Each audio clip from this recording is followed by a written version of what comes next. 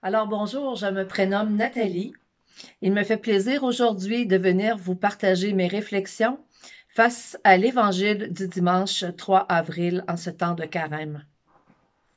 À la lumière euh, de cet évangile, il serait vraiment facile de tomber dans le jugement, de se questionner et même de se demander avec qui cette femme adultère a commis l'adultère.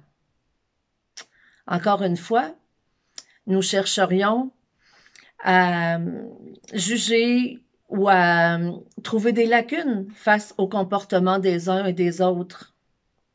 Parmi les enseignements de Jésus, je crois que cette situation de la femme adultère nous renvoie directement à notre propre intimité et à nos propres actions, aux paroles qui parfois ne respectent pas toujours la moralité ou la bonne conduite. Jésus, en baissant déjà son regard au moment où la femme est amenée devant lui, nous rappelle qu'il n'est pas nécessaire de chercher la confrontation chez les autres. Je crois que par ce geste, il nous invite à prendre du recul, un temps de réflexion. Devant l'insistance des scribes et des pharisiens, Jésus finit par se redresser, en affirmant Celui d'entre vous qui est sans péché, qui soit le premier à lui jeter une pierre.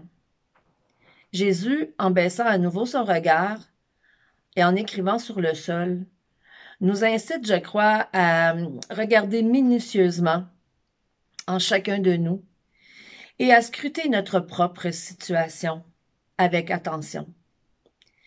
Se questionner vraiment et sincèrement, à savoir, est-ce qu'il y a des situations, des paroles que j'ai pu dire, des gestes que j'ai pu faire, qui fait que aujourd'hui, je me considère sans péché? Soyons francs et honnêtes d'abord face à nous-mêmes et alignons notre âme, notre esprit et notre corps et commençons par jeter un vrai regard en chacun de nous. Le fait que Jésus euh, regarde, garde son regard baissé sur le sol permet aux gens de se sentir vraiment plus libres et honnêtes, sans jugement, et de repartir les uns après les autres en se disant moi-même, j'ai péché à bien plus d'une reprise. Constatant que les plus âgés quittent en premier démontre la sagesse de faire le premier pas vers le pardon. Accepter aussi que le temps qui passe nous permet de demander pardon pour nos fautes.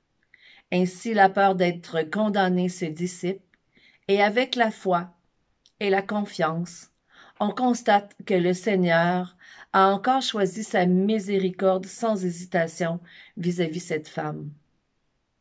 Rappelons-nous que ce temps de carême, propice aux réflexions.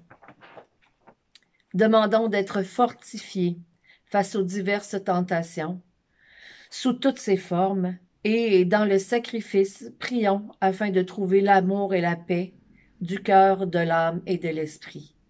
Que Dieu vous bénisse. Bon temps de carême à tous.